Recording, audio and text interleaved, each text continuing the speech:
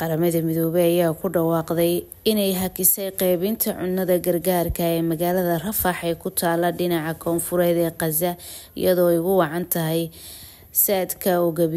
gabaabsi ah iyo xaalada amni darada sare u kacday. Xili diyaaradda israel ay sii wadaan weerarada ka socda. Stephen oo ah afhayeenka u hadlay qaramada midoobey ayaa salaasadii sheegay in guud ahaan xarumaha cunto qeybinta hay'adda qaramada midoobey ee w f b iyo u n r w a inay yihiin goobo aan la gaari karin iyada oo ay ugu wacan tahay howlgalada militari ee ka socda aagga rafax. Xaalada ayaa ku soo aadeysa iyadoo dad ka badan hal milyan oo qof ay wajahayaan xaalad macluula oo aada u sareysa kuwaasoo u baahan gargaar bini-aadanimo. Sida ay sheegtay qaramada midoobey kadib hakinta lagu sameeyey dadaalada arrimaha gargaarka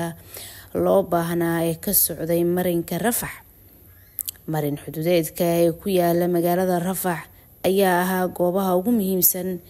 ee marin uu ahaaga gargaarka bini-aadanimo ee laga geliyo marinka hase ahaatee waa la xiray tan iyo wixii ka dambeeyay bisha may lixdeedii waxaana ka jirta arrin lagu tilmaamay musiibo bini-aadanimo afhayeenka u hadlay w f b ayaa sheegay in howlgalada bini-aadanimo ee khaza ay qarka u saaran yihiin inay burburaan isagoo ka digay in haddii aan dib loo soo celin cunadii iyo sahaydii kale in macluusha ay faafi doonto haddii aan la helin xal deg deg ah oo lagu geynayo gargaar marinka rafax anfacaadan raxan reeb muqdisho